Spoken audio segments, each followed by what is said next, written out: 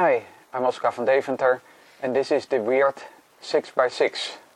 Weird 6x6 is a flat twisty puzzle and its uh, geometry is actually related to the Bram sphere.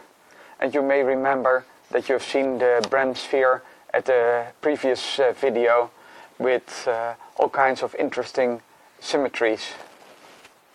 So what you're seeing here is uh, two discs, uh, each with a six-fold symmetry. So let's turn the smaller one, for instance, like this. And then we can turn the larger one and maybe now turn the smaller one again and the larger one and it gets quickly scrambled. And even though uh, yeah, the puzzle looks a bit bandaged because the inner circle is not turning, actually it's not a bandaged puzzle, it's a doctrinaire puzzle. And uh, I'm really happy how it turned out. My question to you is about those flat twisty puzzles, maybe spinning disc puzzles, I don't know what the category is.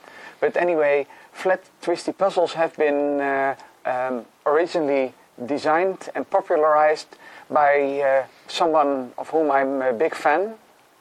And uh, he has also been a lot of inspiration to me, and he's the most prolific designers of this type of flat twisty puzzle.